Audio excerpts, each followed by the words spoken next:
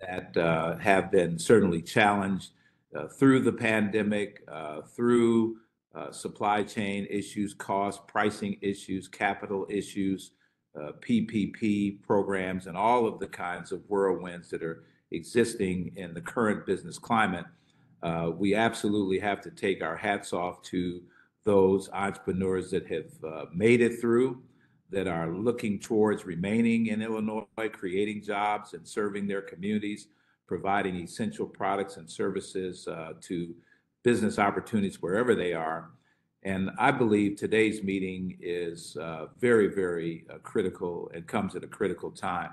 But we have to be uh, girded by just the collection of talent that's assembled here is, is really pretty uh, breathtaking. Uh, to have brothers like Jonathan McGee in the position that he's in right now, uh, I tell you, uh, really, I can speak, having been, as you said, in the trenches working for economic development and business development for a long time. Uh, to have a lineup like we have with Darryl Thomas, with uh, Ericka White, uh, to celebrate her uh, ascendance to some place that she has worked at for years and to have the opportunity to lead the organization right now. Uh, this has to be some information that gets in front of all minority entrepreneurs in the state that we have people in high places that have uh, done this work, that are committed to this work, that aren't going anywhere until more businesses win this effort of, of stabilizing themselves, getting strong business opportunities. And as when Jonathan comes up, I'm sure he can't wait to tell you that he's he he he wants nothing more than to see businesses take advantage of the millions and literally billions of dollars that are coming to the state of Illinois at this time. So this is an exciting time to have this convening, and I hope it's not uh, the last time. I know it won't be the last time because everybody uh, on today's meeting has been in conversation throughout uh, the recent months, and we will continue. Uh, just briefly before I enter uh, the panel dialogue, I will say I did put in the chat uh, some information about um, the organization that I'm representing. I am honored and humbled uh, that the governor uh, moved to establish, uh, taking advantage of this recent legislation to create the Commission on Equity and Inclusion. And again, this indicates the unique time that we're in. Is steps are being taken to really, uh, some laws have been on the books for a while. We've had minority participation goals on the books in the state of Illinois for a long time. Illinois has led in some of these areas, but we know there's more work to be done. So this Commission on Equity and Inclusion is here to bring new life to this work of equity, particularly in the areas of procurement, but in many areas. Uh, but people need to recognize Illinois is a large and complicated state. We have the university system. We have the various transportation departments, IDOT and the tollway. We have uh, 70 different buying agencies. We have four chief procurement officers. We have, uh, I don't know how many uh, agency procurement offices.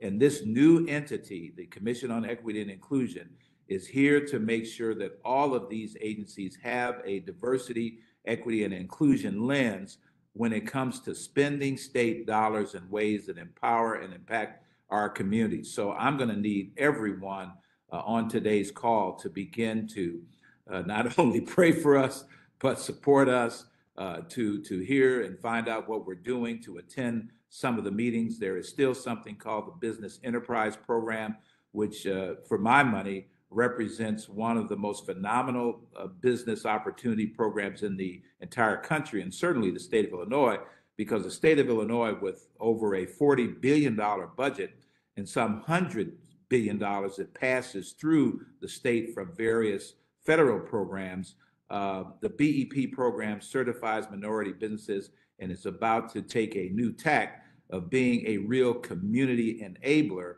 for uh, economic empowerment and, and fairness and equity and contracting opportunities. And we intend to do our job and do it very well, but we can only do it with your support, with your paying attention to what we're doing. So when we bring transparency, enforcement, and uh, uh, support for this program, it will be because of the support we get from our community, which is you. So I'll start uh, right off and ask each of the panelists to uh, make a brief comment about this notion of procurement equity. Um, you know, Darryl Thomas, uh, you've been in the, the, trenches for a long time. Uh, Illinois' PTAC program is arguably uh, one of the best PTAC programs in the country, again. And even though it was started to focus on Illinois getting its fair share of federal procurement, uh, we really need the PTACs to be helpful today in making procurement equity the law of the land in the state of Illinois and helping businesses understand what it means to do business with places like the state of Illinois, uh, Cook County government, uh, the various cities and towns and municipalities. Speak to, you know, if you would uh, care to, your experience about this notion of procurement equity and how the PTACs can play a role in leveling the playing field and creating more pathways to opportunity for diverse businesses and Black businesses in particular. Great. Thank you so much, uh, Mr. Montgomery. I have the utmost respect for your your tenure and your experience, and and thank you so much for uh, the intro um, and laying the groundwork here. It's it, uh, procurement equity is critical. It's critical. It's the procurement is the lifeblood of of our of our communities. Um, government contracting supports uh, is a game changer and it supports equity and uh, building up communities. Uh, government buys everything from toilet paper to rockets, and we know that government spends billions of dollars every year. And for us not to make sure that government is uh, spending its fair share in diverse communities and communities of color, it's it, it it's going to only push uh, the the turnaround for minority communities that much further off. And it's time for us to really focus on equity in procurement. And, and the PTAC program has worked very hard to make sure that we've done so. Uh, we've actually, within the last two years, even during the pandemic, we added two new PTACs in in uh, diverse communities. We have the Far South Community Development Corporation actually has a PTAC now. We have Greater Southwest Development Corporation on the southwest side of Chicago actually has a PTAC now. And one of the goals in us receiving the additional funds, federal funds, was to make sure that we leverage those funds to make sure that we're expanding those resources to the communities that uh, that really need to be a part of, uh, need these um, valuable services and these critical services to understand procurement. Uh, procurement equity, as you mentioned, the question is uh, how important is it or what we, we speak to it it's, it's our lifeblood it's the reason why we exist as PTACs is to help businesses understand what it takes to do business with government and not only that, but those who have uh, the best opportunities to bring in new innovative resources to community have to have those opportunities. And there's no better resource than a PTAC to make sure that those businesses have that opportunity, have access to the opportunities, and be able to compete for those.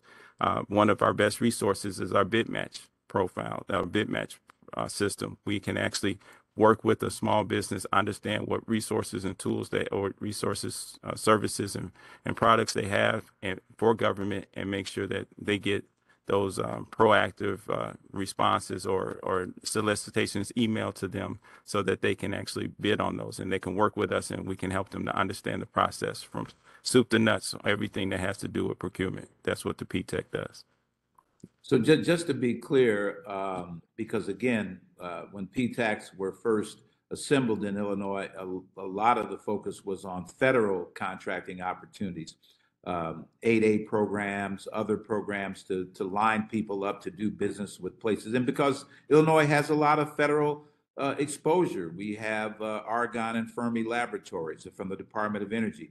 We have the Rock Island Arsenal. We have the U.S. Army Corps of Engineers. So um, uh, we used to have Scott Air Force Base down in the southern part of Illinois. I'm not sure what's going on down there now. So there's a lot of federal dollars along with GSA that has a big, uh, you know, Chicago is home to Region 5 of the federal government. But also, do PTACs uh, understand and look at the opportunities coming from state contracting opportunities and making sure that you understand things like BidBuy and the various procurement platforms? Are those things that our businesses can get technical assistance at PTACs to get on the rolls and track some of the opportunities the same way you track them in the federal sector, track them in the local state government sector as well. Absolutely, absolutely. In fact, our BidMatch system looks at 2,000 listservs and bulletin boards and, and agencies to make sure that we get those opportunities uh, that we we have those. And uh, commonly, our, our PTACs will work with local government agencies and, and have uh, resource uh, opportunities and, and outreach um, sessions for the, the city of Chicago, Cook County, and, and so forth and so on. So we do everything from local government contracting, state contracting, and federal contracting. Uh, we're funded by the Department of Defense primarily, but we help all entities that are responsible or interested in doing government contracting. And we try to make sure we have those inroads with those local entities because the, the federal government, as you mentioned, invested in this program back in 1985, and it was to build up capacity. They know for businesses to be able to compete on the on the national level at the federal level, they need some past performance at the local and state level in order to be able to compete and do business at the federal level. And so, starting those businesses starting at the local um, uh, park district or, or, or, small contracts like that can be the, the entryway into larger more lucrative contracts. But working with a PTAC is the first step in understanding and identifying um, any contract that the, the, business would be able to qualify to to be to bid on. Well, I really appreciate your continued success and leadership, and and the goal of the uh, Office of Minority Economic Empowerment and our African American uh, Business uh, Committee community is to really steer more folks to you so that they understand, you know, a lot of businesses that come into the space aren't familiar with the infrastructure that's already here.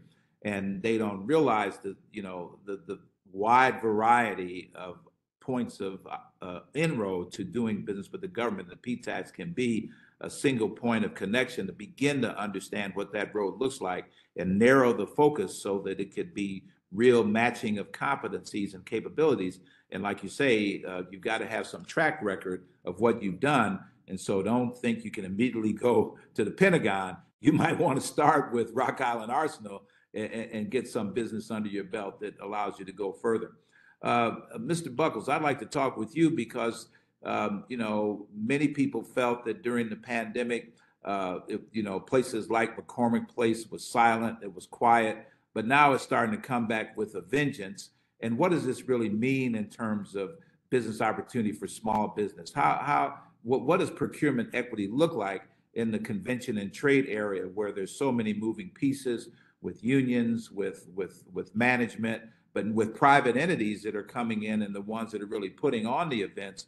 How are you able to not only drive conversations with your spend, but with the millions and again millions and millions of dollars that come through your facility on the part of show producers well yes there are a lot of moving parts during at the beginning of the pandemic the mccormick place was actually closed so you are correct about that we were silent lights out um you know but now that we're back in business and shows are revving in you know it's it's all about concentrating businesses to the right areas so one uh, i oversee the operational purchases um, at the mccormick place and so I'm always connecting with uh, minority and women businesses specifically to to notify them of opportunities. Uh, in regards to equity, you know, it's about knowing exactly. I think the most difficult thing for us is getting businesses to realize that we do come in layers. You know, the McCormick Place, we give people a place to host their event, but we don't actually put on the shows. You know, they need to be able to co- uh, connect with the the show orchestrators, you know the people who are going to to build out those shows and so you know the most that i can do on my side is connect them with teams like our sales teams our marketing teams so they can start building those partner relationships. But when it comes to the actual bids of uh, being a part of the shows they actually need to still connect with the direct uh, show creators. And i think that um, for any business of any size sometimes that's a little bit difficult because they think that we're a one-stop shop you know? So i think that uh, a big piece of you know being equitable is one having the knowledge of the organization that you're you're trying to participate with. You know everything isn't available on BidBuy you know right now we don't use BidBuy you know you need to connect with me to see what we do. You know we we post our things our uh, our things our procurements online. Uh, we send them out directly to our vendors that are registered to do business with us you know? Um, but there might be some opportunities that people are looking for but they're not actually looking to participate on or looking or know how to get on that. So really, um, you know, I feel as though that the McCormick Place has a very equitable process, but I also feel as though vendors need to take it upon themselves to kind of understand our organization. We have no problem talking with anybody about any facet of our organization, but they need to to have that knowledge instead of just saying, "Oh, you know, McCormick Place doesn't have the opportunity." Um, McCormick Place is is uh, prohibited by union participation. Chicago's a big union town. We're not the only one with those type of requirements. You know, vendors need to put themselves in position to be able to play ball on all levels. Once uh, minority businesses get a, a foot in the door with whatever size contract, have you seen minority business been, be able to stay, grow, and scale and create long-term relationships with your with your buying entity? So with McCormick Place, have some minority vendors and black vendors in particular been able to get their foot in the door and you see that they've been there one, two, three, four years Absolutely. doing quality work and finding contract renewal and using that as a way to stabilize their uh, financial relationship with McCormick Place. Absolutely. We have minority and women contractors that have done business with us for over a decade, not just one or two or three years. You know, once you're actually able to get in the door, once you're actually able to pass the bid or the RFP process, the most important part from there is relationship building. One, doing the job, doing the job well, and then keeping a relationship with the people that are there. You know, in public procurement, it's a revolving door. You know, our contracts go out four or five years, and then it's time to put it back on the streets and open it up to other competitors. But I do see that having that relationship uh, with our staff, with our team, with our management, you know, it helps. It increases your um, your perception to the team when it's time to evaluate the scores. You know, we have a better understanding of your capacity, your professionalism, and your work ethic. You know, everything isn't always just the lowest the lowest cost and we go with them. You know, I I've had a couple procurements where minority and women businesses have been a lot higher uh, than the than the cheapest bidder, but they were still able to win based off of their proposal and how they presented themselves and the relationships that they have built. Now, you mentioned management, and I know in the last couple of years, uh, you now have a CEO who's African American. And Yes. she's one who also uh, worked her way up the ranks from finance and accounting all the way now to the CEO spot. Exactly. Having her in that position, has that made a difference with procurement equity? Because now senior management has an interest in seeing uh, part, equitable participation. Has that made it a, a good environment for uh, your work and for the work uh, of connecting with community and connecting with um, uh, more opportunities in the industry? Most definitely. CEO Larita Clark is one, she is a champion of diversity. I mean, one, she is a black woman uh, herself, you know, so it creates uh, a different climate, a different atmosphere. You know, it's more of an expectation that we deliver. You know, there's really there's really no reason. You know, there's really no no barrier. Um, it makes a more open forum within our organization to bring diversity related topics, not just on the supplier diversity standpoint, but diversity inclusion in general. So definitely having her in that position has helped not just the McCormick Place, the NPA, but also our neighboring entities. You know, we do business with a lot of different, you know, there are three hotels on our campus. You know, there are three, we have the Choose Chicago, this uh, tourism, we have Savor, which is uh, food distribution. So, you know, we, we all fly under this McCormick flag, this team flag, and having uh, CEO Clark at the helm is kind of like, hey, we have to deliver. You know, we have goals, we have policies set in place, but there's really no reason why we shouldn't be active, why we can't openly say what we want to say and not feel comfortable saying it. Well, I, I really appreciate you saying that, and we really admire uh, CEO Larita Clark uh, to be in these positions. And this is what makes me so excited about uh, the timing that we have right now, because both on this call today, we see people in place like yourself uh, that are at the right place at the right time. And so we as a community have to be taking these opportunities seriously. It has not always been like this. Uh, there not always been an Alex Buckles in, sitting in the seat that you're sitting in. So we've got to be aggressive how we take advantage of this. And moving over to Jonathan, um, you know, this is a singular point in time with this infrastructure uh, resources coming. Um, you know, not there, you know, in the in the milieu of the political uh, hot air. sometimes uh, it gets lost, but this isn't a regular situation. this is a very unique time. And so now we've got to gird ourselves to take advantage of that. And, and I know Matthew coming into this hot seat, if you will, uh, at this particular time, but well prepared to let us know, you know, what does procurement equity look like when millions of dollars are coming on board? People want to move fast to take advantage of it. How do we make sure that it doesn't happen so fast that it, uh, we we're on the sidelines? What what do you what what how are you structuring in ways in which uh, we can both play catch up, but also make sure that we're not steamrolled by people running towards the money that's coming to Illinois and infrastructure spending. Thanks so much for that, Bruce. And, and I actually want to take a step back and say I came to IDOT because what I, I learned at DCEO was uh, that first we got to start with awareness and preparedness. And so many of our communities miss out on opportunities because they're simply not aware.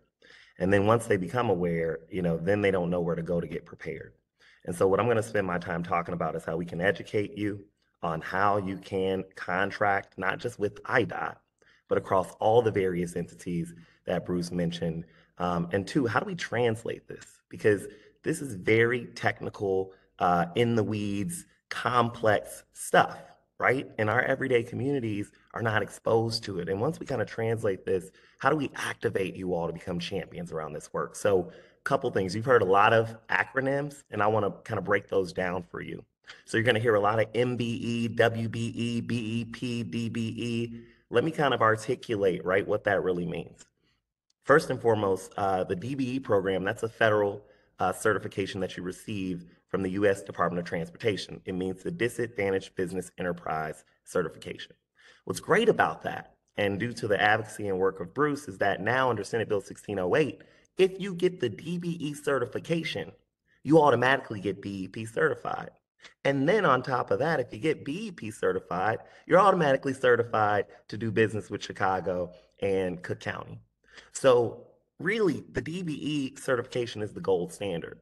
And many folks look at it, right, as simply a construction certification. However, when we think about IDOT, we don't just talk touch highways. We're not just roads and bridges. We've got aeronautics, we've got transit, we've got ports, we've got bike lanes, right? And so when we talk about the billions of dollars that are coming down through Rebuild Illinois, which Governor Pritzker signed into legislation in 2019, or President Biden's Infrastructure Investment and Jobs Act, every part of this plan is centered on equity. However, we need to ensure that you all are prepared to take advantage of it. And so, with that being said, part of what my shop does in the Office of Business and Workforce Diversity is one, collaborate with the PTACs, collaborate with the Small Business Development Centers, work with the Office for Minority Economic Empowerment and our Regional Economic Development team to really come together and help everyone understand that you're not in this alone. One of the biggest issues I see is that we're always going for opportunities without getting support. Darryl, Ericka, myself, as well as Matt and other folks seriously are the wraparound services that you need. And so what I say is before you start to think about bidding for an IDOT contract or bidding for um, a procurement through BidBuy or you know looking at a federal opportunity, come talk to us. Come talk to our team. And what we're going to do is first ensure that you have uh, the management um, support in terms of business plans um, and all of the, the items you need to make sure that you're successfully marketing yourself and setting yourself up for an opportunity. And then, two, we're then going to help you understand how you navigate the complexities of an IDOT letting, right, or BidBuy. And so then when we think about the legislation, right, that's coming down, um, this is a, a five to six year plan. So this money, Bruce, is going to come out over the next five to six years. And all the federal money did was supercharge the rebuild Illinois dollars that were already coming. And so, what does this look like for Black businesses? Well, one, if you're in construction, whether that's electrical, whether that's heavy highway, uh, whether that's trucking, whether that's excavating, um, come to us to get DBE certified. If you're not DBE certified, then you can't do business with IDOT. And the reason why I say you should come to IDOT, because again, we're in what we call a UCP, a uniform certified plan where the city of Chicago, Metra, PACE, um, And uh, all of those entities, along with IDOT, all share the same certification kind of directory. And that's all public. So that's a free marketing tool for you so that folks that are looking for uh, black and brown contractors to do work for them, um, they can go there. But again, if you get IDOT certified, we also provide supportive services for folks that want to do work with IDOT. And that includes uh, providing technical assistance uh, around, again, business plans, accounting, marketing, software. It's also reimbursement programs we offer. We'll give you 50% for up to 50% for any certification class or training you need, website development. Um, as well as um, helping you think about how do you really set up your bidding support and then and that's up to $1500 and we haven't exhausted those funds um, but again, more importantly, um, we want to also help you understand that it's not just you know traditional construction. When you look at the O'Hare Terminal Five project, or you look at some of the major transit projects on the CTA, some of that is janitorial services, some of that is IT, some of that is trucking, right? Um, and so again, what I really want you all to see in terms of this equity piece is whether it's at the McCormick Place, the City of Chicago, Cook County, IDOT, um, or the state agencies, we are here to set you up for success. And there's goals on all of this. And many times what we see is we don't see the bids, we don't see the outreach. And everyone's heard this statement from me. Nothing comes to a sleeper but a dream. You miss 100% of the shots you don't take, and we can't we can't want to eat and not hunt, right? And so, in a lot of ways, that is what we're here to help you all do: is figure out how do you actually start to put your best foot forward to win work um, and not just throw your hat out there in the ring and hopefully it catches on to something. And so, you know, again, Bruce and Matt, thank you for bringing all of us together because between everyone on this panel, there is dollars out there. Um, and it's dollars across the state. So it's not just Chicago and Cook County, right? Um, we've got 102 counties. We've got state entities. He mentioned the Rock Island Arsenal. We've got America's Central Port. We've got the Cairo Port Project. We've got, again, Mid America Airport. Um, we also have uh, the MetroLink extension in the Metro East near East St. Louis, all the way to the I 80 and 290 uh, projects and the Jane Byrne interchange uh, that we're working on, as well as the 274 interchange in Champaign. And so, what the governor put out was a $34.6 billion plan over six years that lays out the jobs and the projects that we're going to do. And so, once you see those projects and jobs, you should definitely reach out to us so that we can help you navigate what makes the most sense for your business. Now, Jonathan, thank you for that uh, illustrious overview. This is a very unique time. For those that aren't familiar, there are some structures within IDOT that are uh, deeply committed to technical assistance, pre-bid technical assistance. So a lot of times people say uh, with these various uh, pronouncements and announcements that it's, it's a lot of hoopla in the beginning, but the transparency seems to fade away uh, quarter over quarter, year over year. Uh, I'd like to dig into the weeds a little bit on how, uh, from this point forward, uh, each of you are doing things to make uh, the, the, as Jonathan mentioned, uh, we can't participate if we don't know how to participate.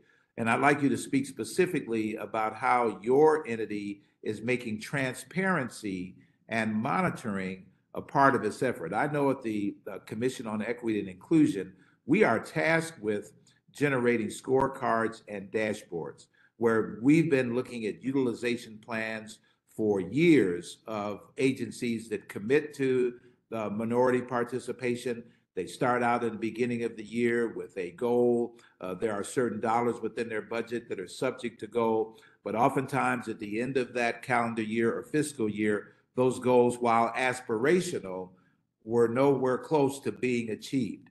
And so this is where we need to have a new uh, yardstick of consistent monitoring and transparency around these kinds of business opportunities. So we don't hear about all the money coming in. We need to be able to uh, clearly and concisely keep track of this. And this is this is hard work. This is why we need the support of a PTAC that's looking at these bids because these things come fast and furious and it could literally overwhelm any business of any size, let alone a small five man, 10 man, 15 man company that's trying to get their legs under them, figuring out what's going on. So let's talk about what each of us are doing to make transparency a part of our process and inform our community so that they can have some pre preparation for getting in line to do some business in the various areas we've been talking about. I have to go back to Darryl because that's kind of what PTACs are all about. How do you uh, get people in the flow of information so that they can make good business decisions while they're going through the steps of looking at BEP certification, GATA certification, uh, DBE certification, and do you provide hands-on technical assistance going through these various certification steps at the PTACs? Absolutely, Bruce. Absolutely. Um, all of the above. I, I, I'm just reeling with a whole bunch of thoughts that, that I wanted to j- just share with you, but I'll, I'll jump in as quickly as I can. Uh, one of the things that uh, Mr. Buckles said earlier is uh, it's all about relationships. And so we want to make sure that um, those businesses that are coming to a PTAC actually form that relationship so that the PTAC understands exactly what their goals are, what their vision and their mission are with government, with regard to government contracting. Because you can have a dream, as as Jonathan said, but you have to put in the work in order to make the dream become a reality. And the work that is there is is working directly with the PTAC to identify the opportunity. And one of the things that makes me cringe is when when we hear a lot of people tell people go get every certification that you possibly can get. That doesn't help a business. A business needs to have a strategic plan. They need to know exactly who they want to do business with, who buys their products, who who is interested in working with them, and who will be a best partner for them. Just because you get a contract doesn't mean that that's a good contract or it's a good opportunity for the business. One of the worst things a business can do is win a contract and not be able to fulfill on it or be able to get paid at the end of it. And so we want to uh, help businesses understand that cultivating that relationship with a PTAC is critically important to identify what certifications, registrations, and opportunities would be best for them to achieve uh, their end goal. Uh, and and when you when you're in this market or when you're looking for government contracting, you need to have that you need to start with the end in mind. You need to know exactly what direction you want to go into, what success looks like. And the PTAC can help them to identify what success looks like.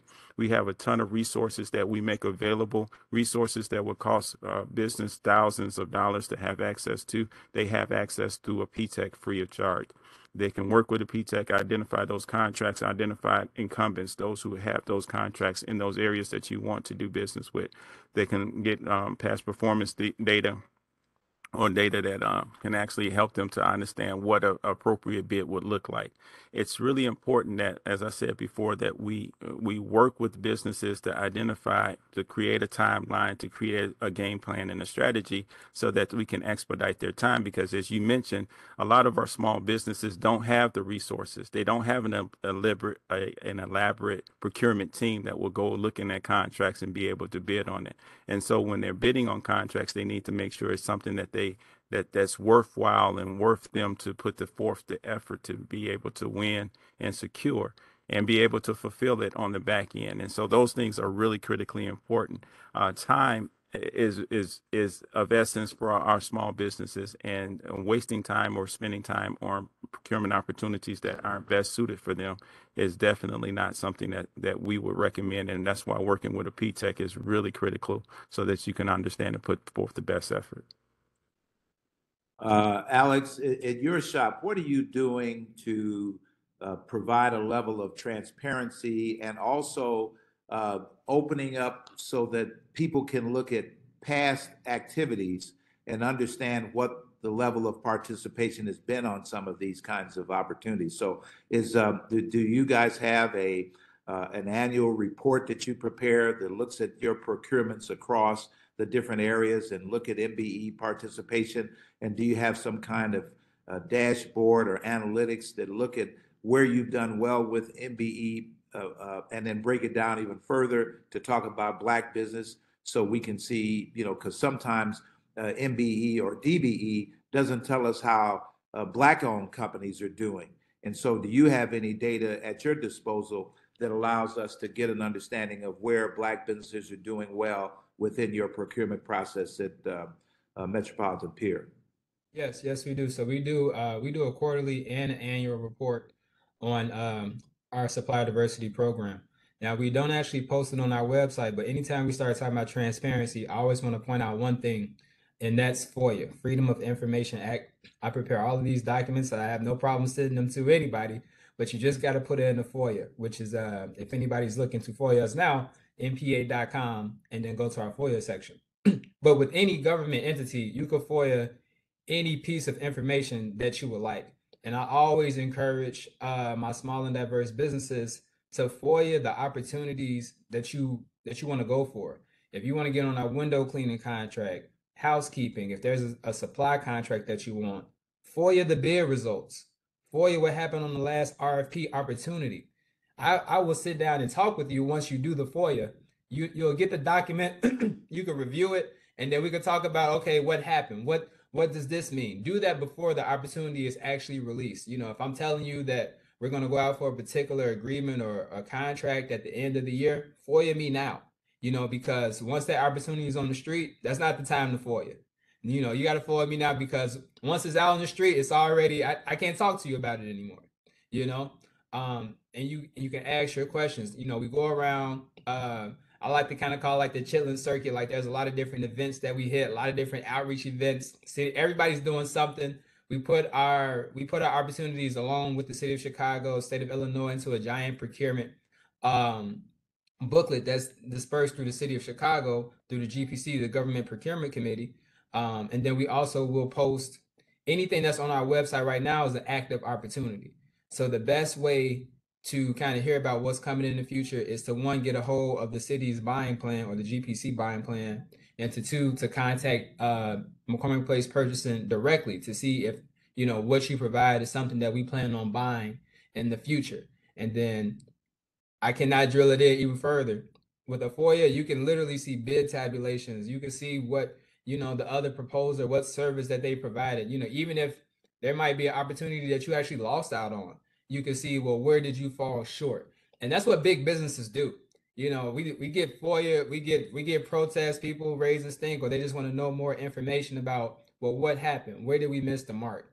And I think that's one thing that I would like to see a lot more smaller businesses do because I rarely get a FOIA from a small business about a particular opportunity, whether they participated in the last one or not. Well, you put some inside baseball information out on the table today because again, this is a complex game. There are billions of dollars at stake. Um, you know, nobody's going to open up the playing field just because you show up. You're going to have to understand how to uh, do the things you have to do, and getting that information uh, by any means necessary. And FOIA is a good way to get it.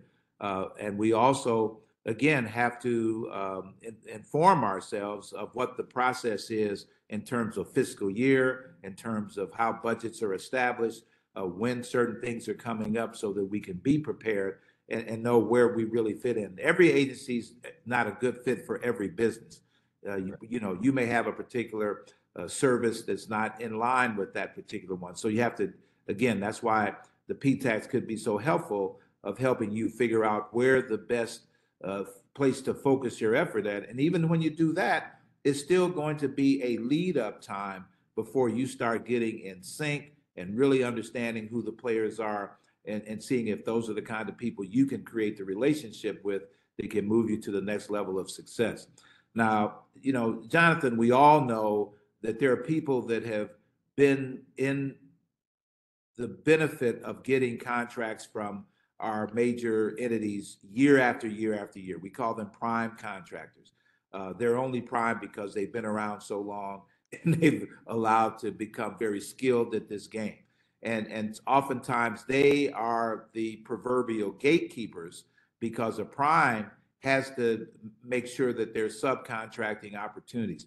Um, what is your agency doing to cultivate positive activity on behalf of primes for equity to be a part of that posture? Now, it's one thing to have the laws on the book and say it's the law of the land, but it's another thing to have good actors. Is there some way that your shop is trying to cultivate good actors on the part of primes to not just say, okay, I know it's a requirement and I got to check a box, but they're doing it because they want to really help to build capacity. And you know, right right now, there's a labor shortage. Uh, there's a human capital shortage there, there's a, a, a, backlog because there are not enough people capable of doing this work because they've been sequestered from doing this work. And so some of the primes are suffering from their lack of inclusion and farsightedness to, to bring people along and empower them. If they would have done that work 10 years ago, they would be in a position to double the amount of business they're doing because they would have subs that's up at a different level. But because they didn't do it, they don't have those subs with those kinds of capabilities. Are you having those kinds of conversations with primes about their responsibility and equity as well? Yeah, and, and this is such a great question. And I'm actually in South Carolina right now with the National Association of State Transportation Officials to discuss, right, with the Federal Highway Administration, FAA, and FTA about how we can make sure that the regulations are designed to help more people come in as opposed to keep more folks out. Um, and I think you're 100% right, Bruce. Um, I just want to give somebody, some folks, a quick history lesson. 50, 60 years ago, uh, US DOT didn't even recognize that transportation was an economic development tool. Um, now we've seen for the first time Secretary Pete acknowledge that we know that highways and transportation systems have disproportionately impacted Black and Brown communities and Indigenous communities. This is a historic time because what our transportation equity says is not just do we understand this, but we're going to do better. And so we do have transparently, uh, transparency and accountability measures in a couple ways. My office is comprised of compliance and certification and supportive services and workforce, and then civil rights. And many of you all are familiar with the Federal Civil Rights Act, which enshrines and codifies in statute your rights to Title VI. That means ADA, sexual harassment, um, racial discrimination, and this is all confidential. So if you're a worker on an IDOT job, if you're a subcontractor on an IDOT job and you're not being treated fairly, there is a anonymous process that you can go through to make sure that we fully investigate it. You know, I hear a lot of folks talk about we need to sue the government. Well, there's there's protections in place in government to protect you. So I want to talk about that. Let's talk about transparency. Our, we have lettings. So at IDOT, they have a lot of terminologies. Lettings is when we put out projects for bid, right? So we have about 13 to 14 lettings a year. And when these come out, these are public, they're on our website. It shows you the authorized bidders, which are the primes. So there's authorized bidders and unauthorized bidders. And then once we award the contract, that's all also public. And then we have what we call a utilization plan, which Bruce mentioned that my office approves, checks the goals on, and ensures that it's in alignment with our equity goals. Illinois has the highest DBE goal in the nation at 20.27%. And we have that because we know how important it is to ensure that under this historic plan that we actually have equity that represents the state. And so, um, Bruce, we always can do better. Um, but anybody that knows me knows I'm not afraid to tell you the numbers.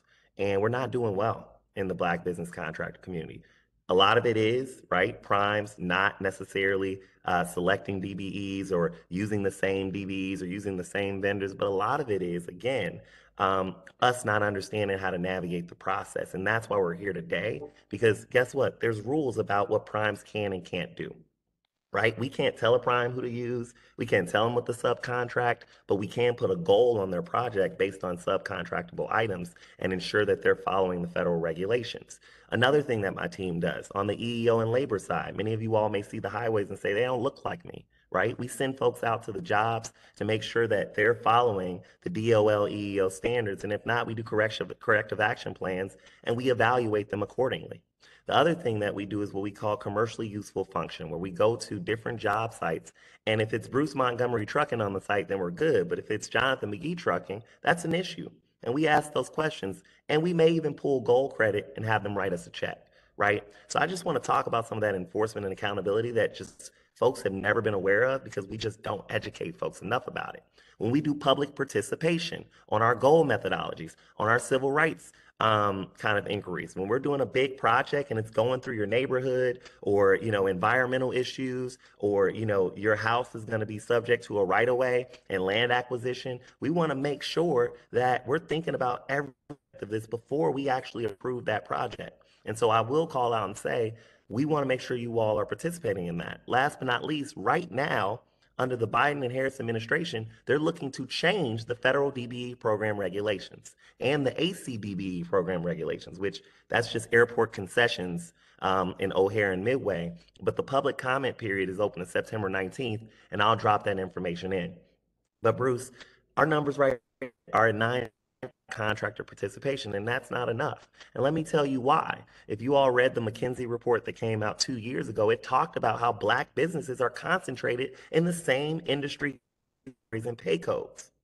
I repeat, we're concentrated in the same work categories, pay items, and pay codes, which means that all of the, the work, whether it's asphalt, milling, drilling, drainage, or it's it's opportunities that aren't, for example, striping, landscaping, um, you know, uh, professional services, you know, then we're never going to get a bite at the apple because it's a chicken and an egg, right? And so part of this is we're also doing workforce programs to make sure we can cultivate DBEs that have the skill set.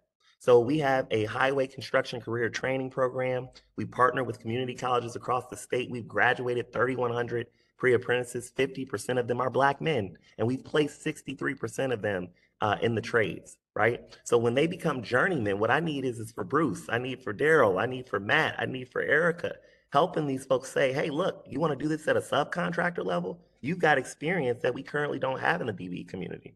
In addition to that, we need more DBE on DBE mentoring and prime and DBE networking. The reality is, is this, you know, the big prime contractors, if you don't reach out to them, if you don't come to our workshops, if you're not building that relationship, then it's going to be very hard to see success. And, and I think that's the piece that I want to focus on. Because again, if they're being bad actors, I gave you your remedies. However, if you never reach out, or you're not looking at the lettings, or you're not assessing, to Darryl's point, where your sweet spot is, right? Because these NAICS codes are so broad, right? What do they really mean? In landscaping, do you mow lawns and do, you know, seeding and sodding, or do you do something a little bit different around shrubbery, right? Like, I mean, this is how nuanced it gets. And so that's why when Darryl says find your sweet spot, he's 100% right. Because again, while yeah, you don't want to just go get a bunch of certifications for the sake of getting certifications, you do want to understand what that certification affords you. Um, and so with that, I think for me right now, it is a significantly historic time at IDOT because we put the goals in place. We also unbundle projects. So I'll give you an example. One time we put a litter picking contract on the Dan Ryan. We unbundled it the business couldn't get bonding and insurance assistance. So when we talk about access to capital, capacity building, these are the things that we really need to spend a lot of time talking about before we go out for bid. Because this is the other issue that happens. If an issue happens where we drop the ball, we don't deliver on a service, that only feeds to this narrative that we know is not true, which is that we know that we can perform this work. However, we got to make sure we put our best foot forward. And so, you know, with that, I'll leave you with this stat during the pandemic, when we saw a lot of businesses struggling, 80% of our businesses that we surveyed were micro enterprises. And many of them were five employees or less. So they're the janitor, they're the accountant, they're the owner, they're the bidder, they're the salesperson. And so your time is money. And so you do have to think strategically about if I don't do highway construction, then maybe I can do BEP work with IDOT because we spend a lot of money there. Marketing contracts, you know, janitorial contracts all types of different items. So, you know, I think the big takeaway for a lot of you all is, you know, there is opportunity. We got small business set asides. We just need you to come to us so we can help work through that with you.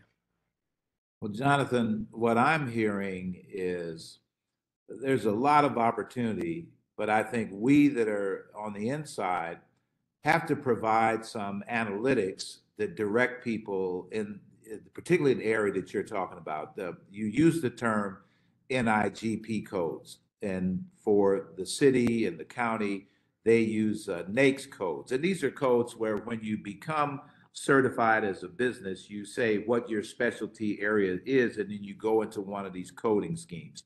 And this has been particularly challenging because of the different variations of how coding is used between um, these different coding formats. But here's my point.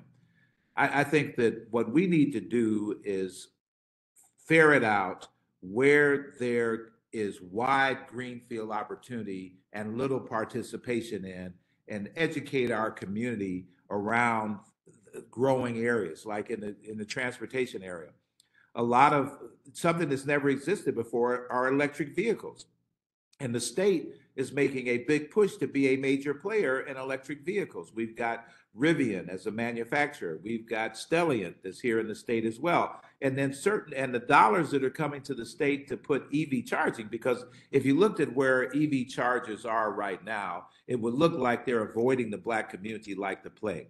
Uh, they're everywhere but where we are. So how can there be equity in adopting electric vehicles if there's no chargers in diverse communities. So the lens that is coming with some of the dollars is saying we've got to reverse the deployment of these things.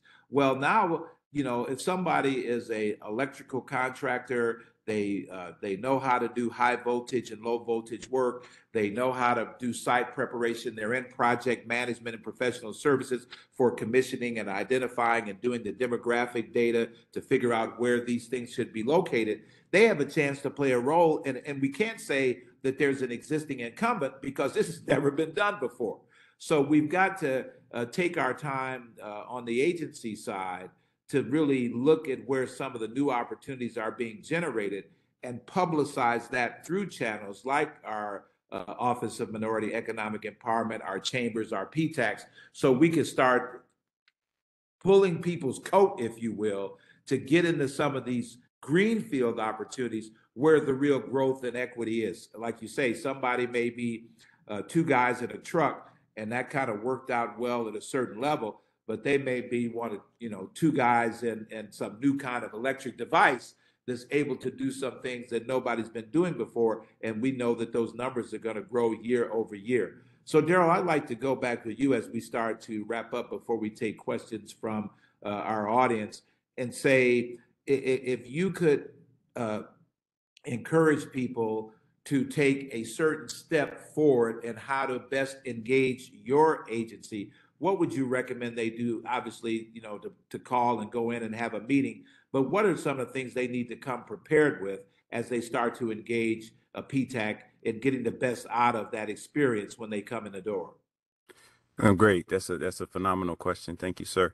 Um, one of the things that I would say, first of all, come ready to learn. Come ready to learn and understand, and and and just be completely open to what the possibilities are, and know exactly what your desires are.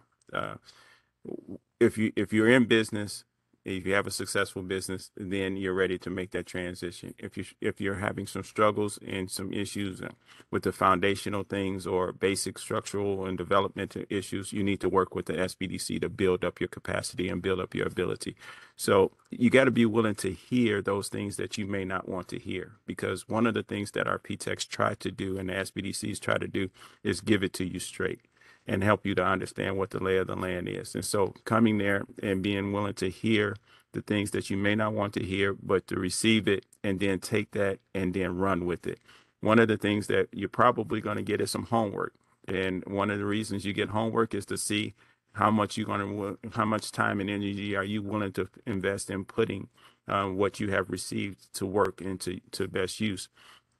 And once you do that, if you do the assignment, if you do what is asked of you, then that is actually going to create that relationship that we talked about, that cultivating that relationship and that going to, going back and forth. Uh, for those businesses that are established uh, and ready to do government contracting, uh, come there with an open mind to understand and be able to identify where, where your sweet spot is, as uh, as as Jonathan said we got to make sure that we we deal with businesses on the levels that they are and we try to build up their capacity and take them to a higher level. One of the things that we're learning is the fact that government uh, um, this new area that we're living in government doesn't even know what it needs. Government doesn't know what it needs. Industry actually is dictating to government what technology is and what's innovative and what's new um, we have the federal government giving out contracts, $50,000 contracts uh, to innovative companies that just have prototypes or just have ideas government is is this is a new era and a new time that we're living in and to understand the lay of the land working with the PTAC can actually help you to get in there. And one of the things that our, our office the the PTAC program is actually transitioned from the defense logistics agency to the office of small business programs. This is a phenomenal opportunity for us we're actually um, the Department of Defense is actually looking at us partnering all across the country with SBDCs at those innovative firms that may not even have looked at government as a as a as a customer before, and now uh, working with those innovative firms, we can help you understand that there's opportunities for you. So starting off with a SBDC is critical. Uh, building up that capacity, understanding what you're wanting to do and where you want to go, can and, and let us help you to get to that dir- direction and destination. Uh, Alex, I'd like to ask you, is your agency uh, planning um, uh, some, I know you just, in the last couple of months, you've had kind of a procurement open house uh, where you uh, brought people in and brought some of the assist agencies in. Is that something you're going to do more of so that for people warming up to what it's like to be in your environment, uh, are, are you going to be doing more outreach activities so that people can come to learn what Metropolitan Pier has to offer, uh, who some of the prime contractors are, how to get in the flow of what the plans are for the next one to two to three years, so that they can see if this is an agency they, they can fit in and find a, a, a home for their business or service?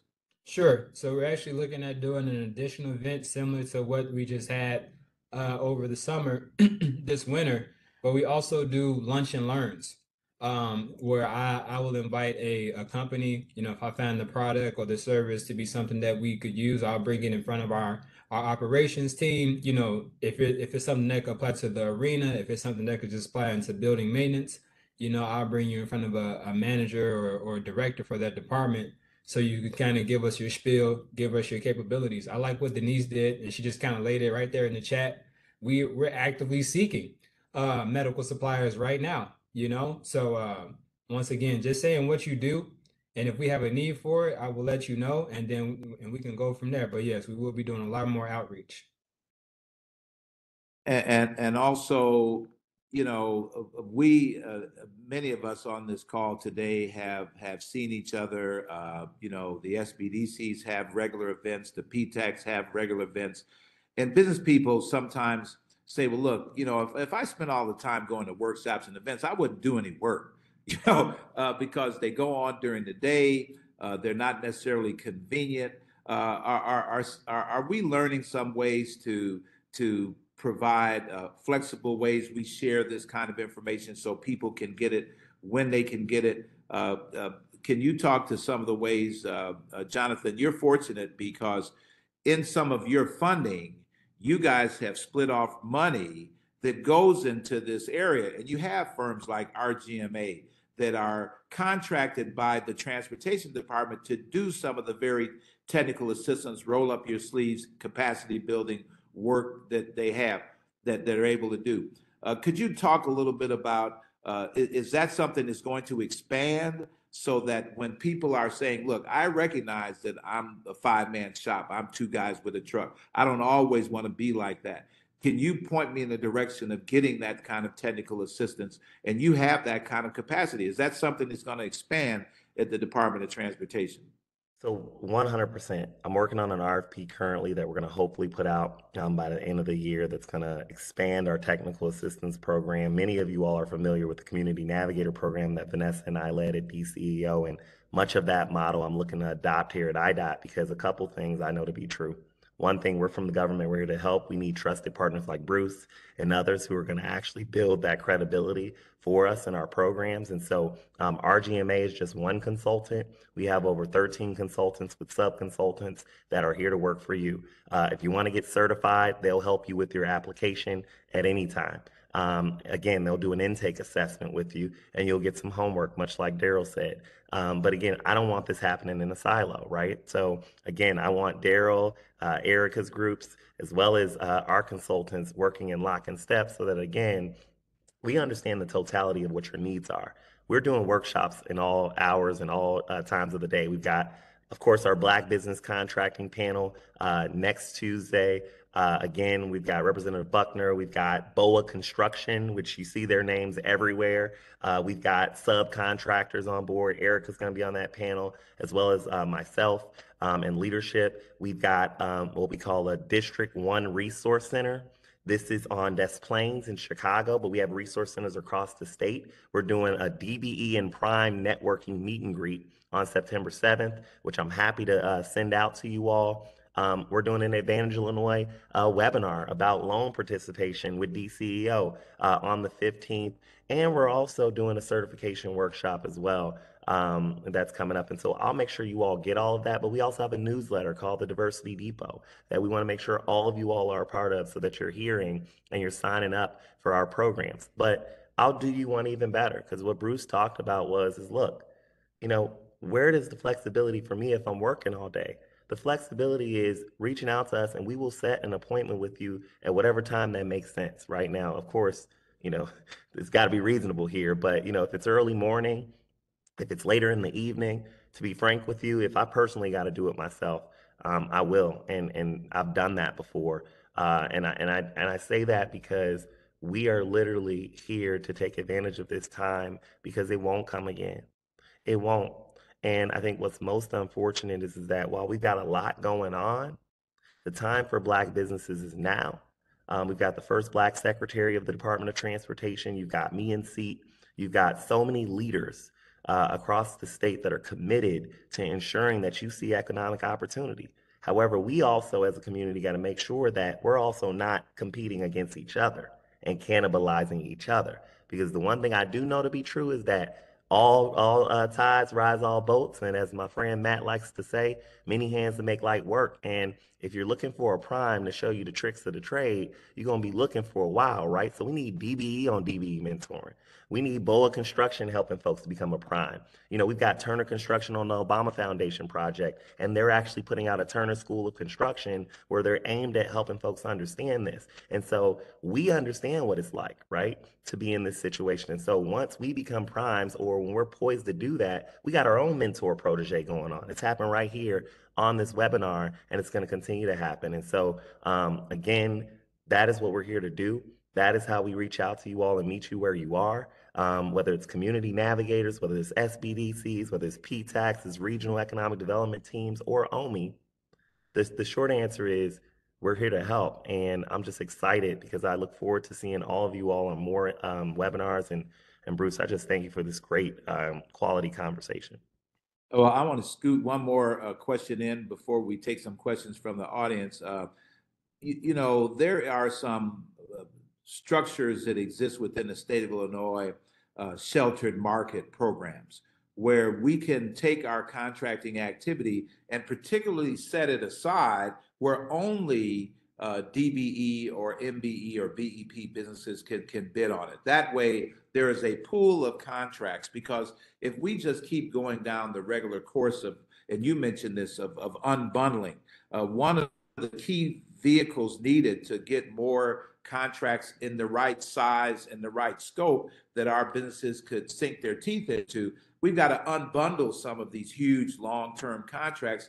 And so the sheltered market program or the target market program or set aside program, whatever you want to call it, is a vehicle that can really be successful at sending targeted contract opportunities with the size and the scope that our businesses could best handle. I'd like Alex to know that is that something your agency is looking at how to have a sheltered or target market program where only uh, DBE, MBE, BEP type firms can compete on? And is that something also going on in the transportation sector? Alex, I'll start with you. Sure. So we actually do have a small business set aside.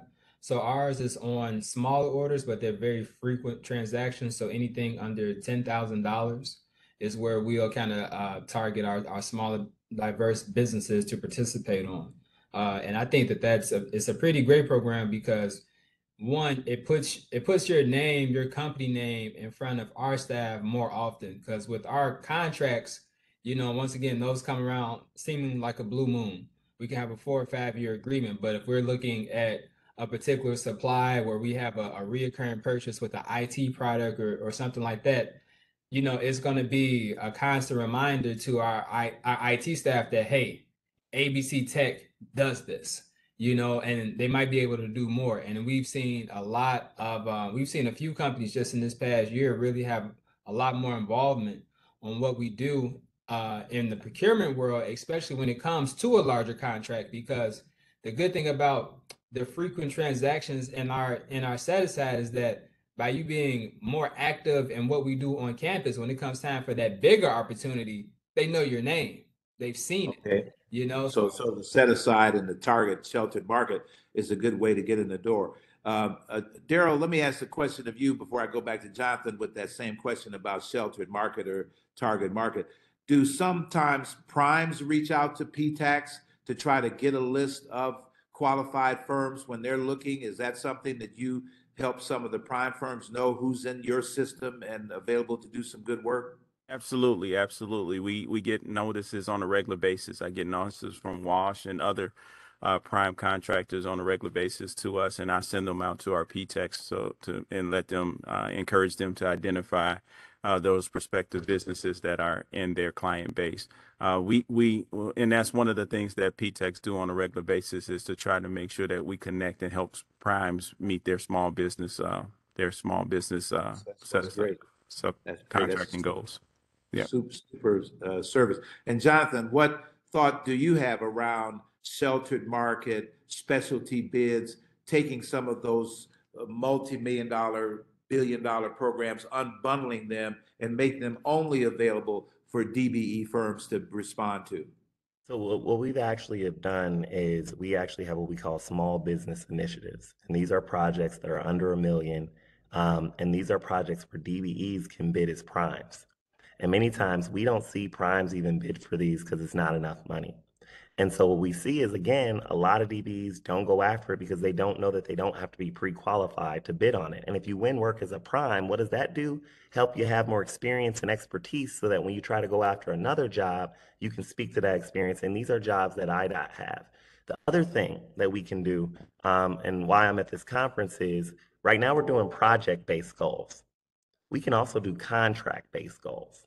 So we could do a hybrid model. So for example, everyone's looking at the I-80. On the I-80 project, we could look at a contract-based goal and try to figure out how do we ensure that we meet that DBE participation. Um, so in short, some of the, the work as well is, again, I want to be clear. Yes, it sounds a lot construction focused, but we also have our airport projects. We also have our transit projects. And again, once you're in the DBE UCP, you can go to the city of Chicago, you can go to CTA, you can go to Metra, you can go to PACE, and they all will help you identify what those opportunities are. But I also appreciate having Alex here because, again, the Metropolitan Pier, they're just one entity. There's so many other entities, and they've got their own subcontractor registration, which is a lot more um, flexible. And so I'll give you this last example. When I was again at the America Central Port for my folks near East St. Louis and downstate, they said, Jonathan, we literally can direct our contracts that are under 250,000 to whoever we want because that is literally their money. And so if you do uh, grounds work, tuck pointing, all types of work, he was like, Jonathan, we are looking for that. And so that's where I go back to um, again, make sure that you join our list serves, you attend our events, you reach out to us, but we're reaching out to you. And so if we're in your community, we'll be sure to make sure we connect with you. But in short, Bruce, we are looking at unbundling. We're doing the SBIs. We're looking at ways that we can connect folks um, with our transit partners and with our aeronautics partners. Again, if you do concessions, right? Let's say you're a vendor, you do hospitality and food. Right now, you could go look at O'Hare's programs and Midway's programs to see if you could get into the airport, right? And again, those are resources that we can provide supportive services on. Well, uh, I think this is a very uh, empowering and inspiring conversation today. I, I want to take my hat off to the Illinois Legislative Black Caucus because I would not be here today if it wasn't for their foresight in creating the legislation that created the Commission on Equity and Inclusion, that the governor signed and is now the law of the land. Our commission just uh, uh, came up uh, the first of this year. And, and, for, and for the first couple of months, it was just our director, Commissioner Kelly Keys. She was there by herself trying to put the structure in place so that all of this work that we know is so important to do. And so we're a young entity. Uh, fortunately, two more commissioners have been added, myself and Commissioner Enity Rivera to go along with uh, Director Keys. And we are committed to making this process easy. I see one question here that says, you know, sometimes getting an MBE or a DBE certification seems like the paperwork never ends. It's always one more document that's needed. And I can tell you right now that our agency, we're trying to uh, narrow that down. And as Jonathan mentioned early on, uh, because of additional laws that were passed, uh, we're going to be able to take uh, anybody that is City of Chicago certified or Cook County certified. You now have a friend at the state of Illinois that wants to bring you into the BEP program and make that process smooth and an easy transition. You still, as as as uh, Darryl mentioned, you still got to figure out, okay, where you know just being certified is no golden key that all of a sudden uh, contracts are going to show up on your doorstep and you start cashing checks. You've got to figure out now that you've done that, how do I get into systems like BidBuy? How do I start tracking the RFPs? How do I find out about the small business set asides? And how do I create the relationships so that people know me, they know my name, they know my company, they know my value proposition and what I'm trying to do. And as and I think Alex pointed out something, being around is always a good thing you know, because it seems like when you're around, you're at the right place at the right time and good things can happen. So this, there's a small business set aside program across the entire state where those contracts uh, can be awarded anything under i think it's 20 or 30 million dollar business gets a chance to participate in those kinds of programs. So there's a lot to this process. Uh, we really are delighted to all be in the seats that we're in doing the work. Again i want to give special recognition to uh, our director commissioner kelly keys. Uh, she is no bigger advocate for making this process smooth and easy and transparent and with some teeth in it so we can begin to take a look at the huge challenge of the 70 agencies that we will be reviewing how we can make sure that they are committed to the laws of the land and that what was a 20% goal is now a 30% goal. We've got to make sure that agencies are doing some things so uh, I, I think some of us on our side of the table with jonathan and other practitioners we're going to have to get around the table together with each other to learn from each other, to implement best practices, to make our process as transparent as it possibly can be so that uh, you have a chance of winning. And I think today is a testament to the integrity of the process because we have DCEO, we have uh, all of us that have come together over the last several months around the table, figuring out how black businesses can come out on top. And like Jonathan says, this will not, it's happening right now. We don't know if it's going to happen ever again. So we must take advantage of it in all the ways that we can. And, and uh, we know that where two or more gathered in the right spirit, nothing but goodness and prosperity can come from it because that is what gives us the capability of doing all things perfectly and in order. With that, I'll hand it back to Matt and he can take a few questions and close us out. Uh, Bruce, thank you so much, man, for your time, for your masterful questions. Um, you know, anybody who knows Bruce, you know, um, we we had a, a, document prepared with some with some questions that he can use. And, you know, Bruce remixed it. He added his own butter and sugar to it. And he he put some seasoning on it. So you know, you you you understand that we got something that was very unique, and I think added a lot of value and texture to the conversation. Uh, thank you so much, Bruce, man. Just want to give you flowers. Thank you for serving on our Black Business Collective as well. Um, a lot of uh, details shared in this webinar. Everyone needs to know we've been recording it. We started the recording a little late, but everyone will get a copy of this link and a follow-up email. In addition, everyone's contact information in terms of panelists will be shared in a follow-up email as well. Um, so just want people to know that we're at time right now. We're gonna we're gonna push the time a little bit to allow for a couple of questions to be asked. Um, but but before I get to those questions, I do because we didn't have this happen on the front end. I do just want to acknowledge um, Ericka White as the state director of the Illinois Small Business Development Center. I'm going to get that on the recording. Uh, the first Black woman to uh, hold this position. I want to acknowledge Vanessa Uribe, who is the deputy director of the Office of Minority Economic Empowerment, as well as the Department of Commerce Chief of Staff. Um, we didn't get those in the front end on the recording, but just want to make sure that uh, the recording reflects the the team that we've pulled together. in support of Black businesses during Black Business Month. Uh, very important that we all uh, understand that uh, many hands make light work, as my brother Jonathan quoted me saying. And um, and we'll be sharing those contacts on the back end. I want to take a couple of questions, and then we're going to have some closing remarks from the Deputy Director, Chief of Staff, Uribe. Um, I'm, I'm gonna cherry pick a couple questions because I think these few speak to some of the um, things that may be swirling around our heads. Um, Zandy Zandy Shields asked a great question. Um, a lot of information was presented. Um, what steps are recommended for people to have prepared ahead of uh, pursuing some government work? So before I go pursue a government opportunity, what do I need to have prepared? And just kind of offer a little bit of brevity, if you can, in your responses. I'll start with Brother uh, Darryl Thomas from the PTAC.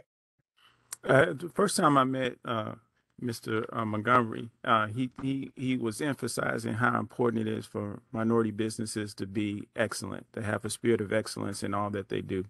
I think that's the number one thing. If you're going to be successful in business or in government contracting, you need to be the very best that you can be in the line of work that you do, because that is actually going to set the standard for getting more contracts and getting more customers in. Go- government is just another customer, and and businesses need to understand that you have to put your foot put forth the, the best effort to make sure that the services are exemplary, that the uh, that the product is is stellar, and we can't rest on the laurels of certification or anything else. You need to bring the very best product to the table, and that way it stands on its own merit. Great answer. You need to have your product or service um, presented in an excellent way before you approach that opportunity. Uh, Jonathan, what would be your response to that? What do you need to have prepared before you approach the government for opportunities? So first of all, begin with the end in mind, Stephen Covey, right? So again, we talked about a bunch of opportunities, right? But know what your sweet spot is and know what you want to do. Don't just come in and say, I want everything, right? Because then you're going to get nothing, right? So you got to really prioritize what is it that I do well? Do I have the capital to withstand my drought? Have I talked to technical resource and assistance partners in advance of my discussion about going out for bid? Because some of this is just having that initial conversation with the SBDC to figure out have I checked all my boxes as a business? because in a lot of ways, what Darryl is saying is, is that where we fall short, for example, as businesses that go for grants, we're never got a certified, or we're not registered as a subcontractor, or we don't understand the process. So start to learn the process and we can help you. And then we can discuss, okay, how do I thread the needle on which contracting opportunity that makes sense for me? All right. Good morning. Good morning. Good morning. I'm here. I'm hearing another voice on the call. Uh, if you could just mute. Sorry, Ruth is that? Yeah, let me see. Okay. So what, what I'm gonna do now is ask uh, Brother Buckles the same question. What do you have need to be preparing before making a connection with you at the McCormick Place? Well, I'm gonna echo what Mr. McGee and Mr. Thomas said, which is come ready to work for sure, but then also come with a certain level of professionalism and that excellence that was also said earlier. I think a lot of times smaller businesses, diverse businesses, um, you know, you need to understand that the people who want you to win inside the organization have to present you. Don't make us look bad. You know, when I want to tell somebody about your company and they say, What's your email? It shouldn't be John Doe at AOL.com. It should be, you know, whoever you are, your company name, professional presentation at all times. You know, that's that's one of the biggest things that I'm I'm a stickler for. If we got a if you actually get a meeting, if you actually get a chance to talk, show up on time, show up early you know, go go above and beyond, or just you know, don't don't come in with the excuse, well, I'm a I'm a small business, or that I didn't know. You know, especially when it comes time to submit a bid or a proposal. You know, don't I I try to be careful of my language, but you know, fill out those forms. You know, don't don't say, oh, okay, hey, I didn't know. I, do, I, do I really need to get that notarized? Does that really apply to me? Don't ask me these questions when it's time for the proposal to be due tomorrow.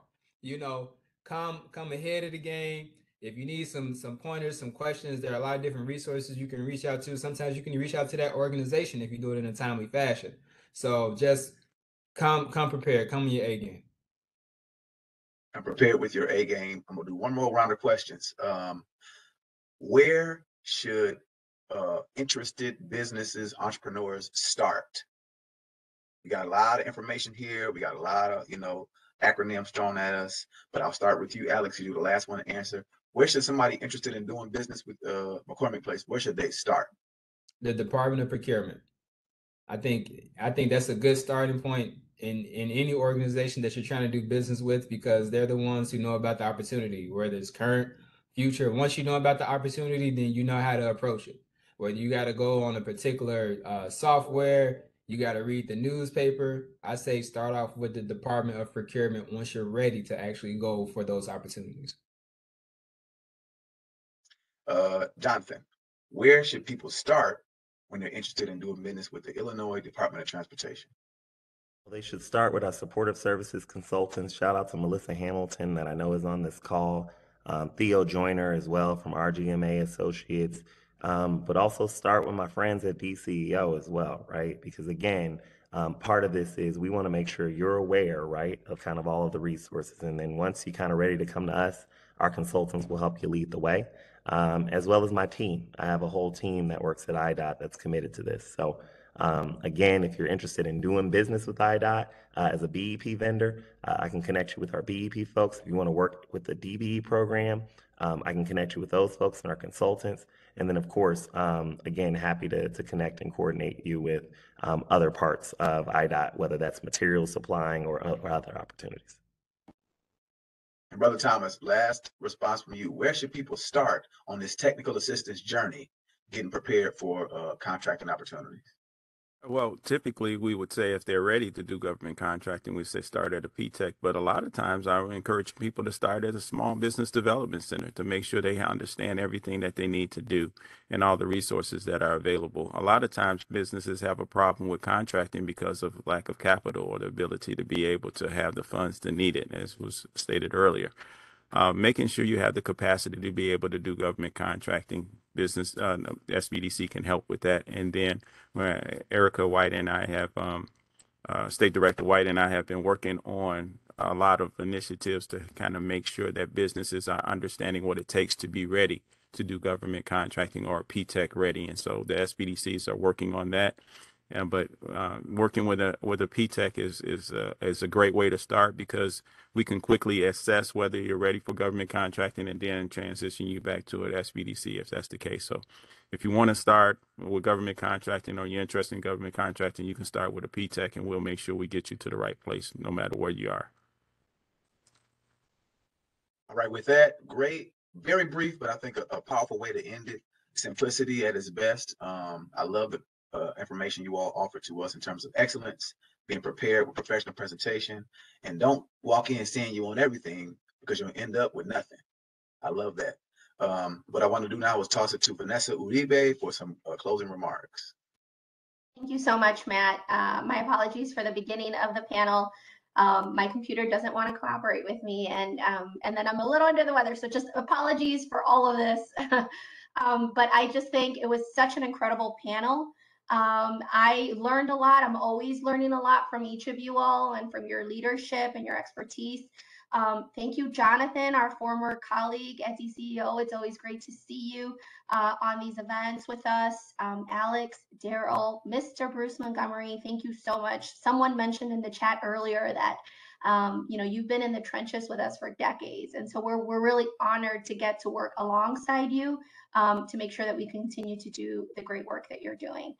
Um, Matt, you mentioned Ericka White. I just, I, would be remiss if I didn't say how proud we are uh, of her in making her story as the first Black woman leading our network of small business development centers.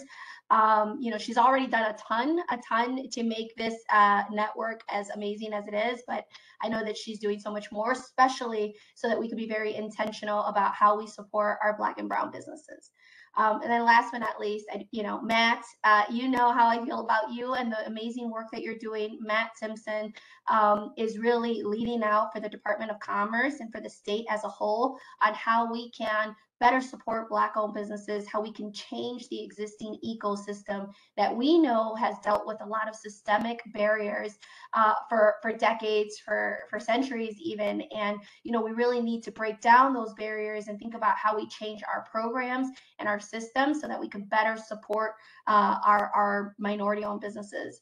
Um, I think the other thing with that is that, you know, we, we often say that we are intending to do this great work, um, but our intention doesn't always equal our impact. So, you know, we talked a lot about the way that the system works, the way that you kind of get engaged with procurement. There's a lot of resources and opportunities there to help you. Um, but just know that on the back end, we're also committed to finding ways to bringing down the red tape, to ensuring that we, we're making these programs more accessible um, and not just accessible, but then we can also move the needle on, excuse me, on how they work for you. Um, so, you know, we learned a lot today. We learned that, you know, DCEO and our partners are doing this work, um, not just during Black Business Month, but year round. Uh, we have the right folks in place to move the needle. Um, we know that representation matters. Uh, I think, Alex, you said being around matters. Um, the commission is another example of that. Uh, so, you know, putting your best foot forward is, is the first start, um, but you have a team of folks that are here and available to assist you, um, and we want to be able to help you. So um, please don't ever hesitate to reach out to us. We're here for you. Uh, we're here doing the work alongside you. Uh, get connected to our resources. Take advantage of the many opportunities that we have to do the work, and know that you have allies in government um, and a lot of the other spaces that we work with to ensure that you do have access and can take advantage of these opportunities. So with that, thank you so much for joining us. Thank you to our amazing panel and our, our group of leaders. Uh, we hope to see you again very soon, um, and we hope to continue the conversation with each of you. So thank you very much. Everyone. Thank you. Thank you. Be well, everyone.